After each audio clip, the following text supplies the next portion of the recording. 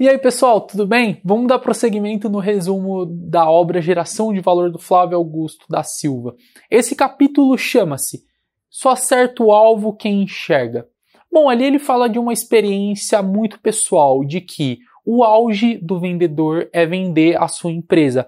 Aqui no Brasil, até o próprio autor ele, ele exemplifica e explica é, isso.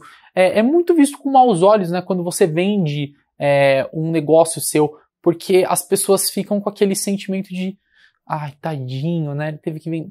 Mas lá fora, é, ele até citou o exemplo nos Estados Unidos, é o auge de um vendedor. Você sabe por quê? Porque significa que o seu negócio dá lucro.